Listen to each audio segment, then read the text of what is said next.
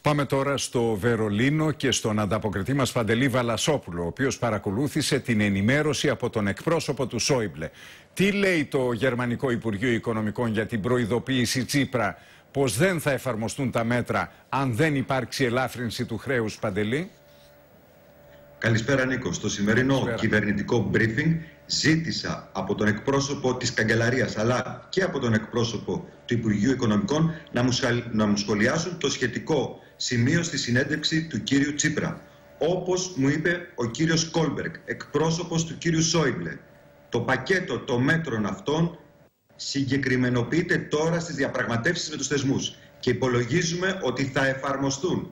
Υπάρχει ένα άλλο σημείο, λέει, στη Συμφωνία του 2016 που αναφέρει ότι όταν εφαρμοστούν όλα αυτά τα μέτρα αλλά εφαρμοστεί με επιτυχία και ολόκληρο το τρέχον πρόγραμμα, δηλαδή το 2018, τότε το Eurogroup θα συζητήσει μέτρα για το χρέος. Εάν αυτό κριθεί αναγκαίο για τη βιωσιμότητα του ελληνικού χρέους. Έκανα την ίδια ερώτηση, Νίκο, και στον εκπρόσωπο της Καγκελαρίας, τον κύριο Ζάιμπερ, ο οποίος μου είπε χαρακτηριστικά συμφωνώ απόλυτα με όσα είπε ο εκπρόσωπος του κύριου Σόιμπλε.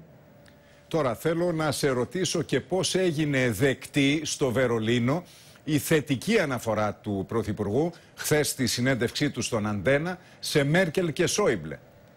Ναι, Νίκο. Ο κύριος Κόλμπεργκ, επίσης ο εκπρόσωπος του κύριου Σόιμπλε, μας είπε ότι ο κύριος Τσακαλώτος και ο κύριος Σόιμπλε έχουν μια πάρα πολύ καλή συνεργασία και ότι και οι δύο θέλουν να γίνουν γρήγορα βήματα ώστε να κλείσει η αξιολόγηση.